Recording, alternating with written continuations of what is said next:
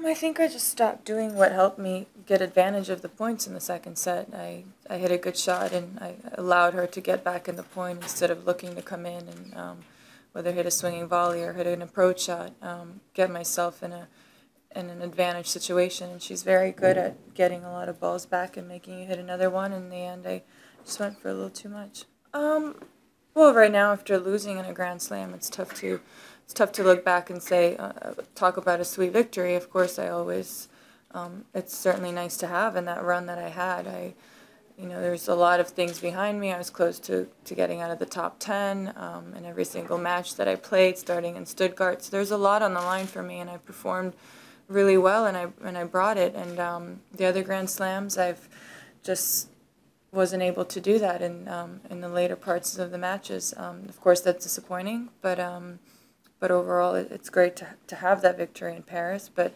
um, right now, it doesn't make it any any better.